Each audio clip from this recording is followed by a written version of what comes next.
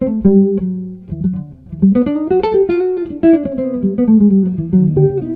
there's nothing wrong with number two.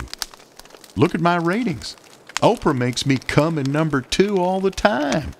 I'm not ashamed of it. As a matter of fact, I really enjoy coming in number two. Number two is number one with me. I love number two.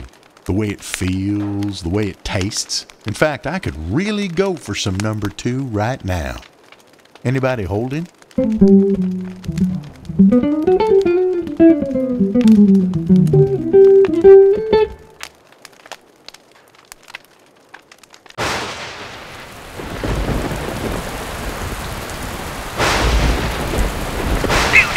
33.